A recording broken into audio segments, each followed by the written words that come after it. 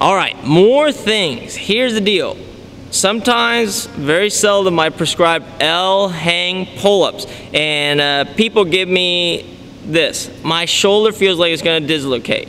If you've ever dislocated your shoulder, subluxated, or have any kind of shoulder issues where your shoulder kind of looks like this, a little funky, yes, that's you.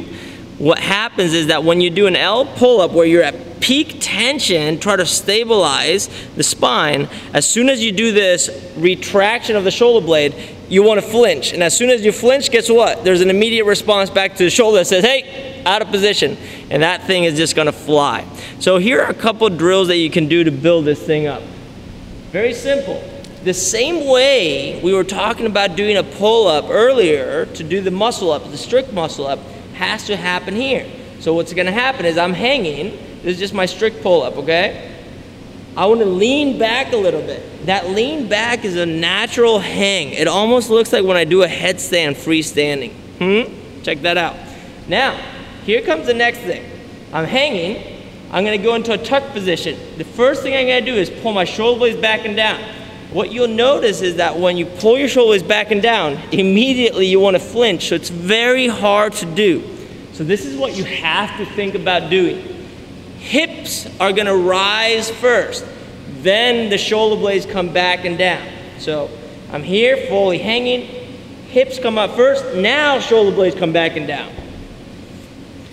The hips have to rise first because we have to do tissue loading order from the bottom to the top. If I start from the top, I'm gonna flinch. It's not gonna work because the system is closed from the top. So I start closing it from the bottom until I hit my base. My base is the rings. Okay, that's very basic concept that you have to understand that.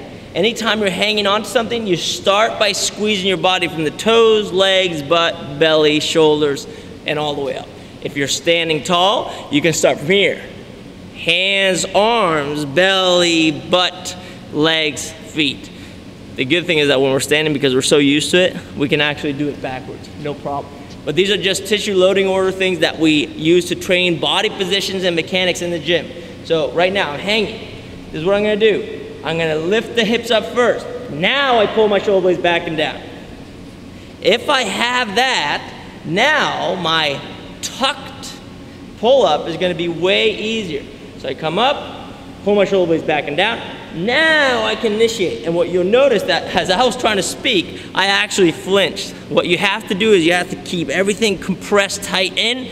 You shouldn't really be able to talk too much. You can say some things, but ideally don't exhale. Try to keep everything in and sucked in, tight. So here, tuck position, pull. We go up, no flinch, bring it down. Notice where the line on my legs go. My knee is high up. Same thing happens when I do an L hang. If I'm doing my L hang, notice where my shoulders are. I can't handle that there. I'm gonna flinch immediately. My toes have to be fairly high. I wanna be up here. Now, I can say pull, come down. L hang pull-ups is a huge tool to find where you are sucking.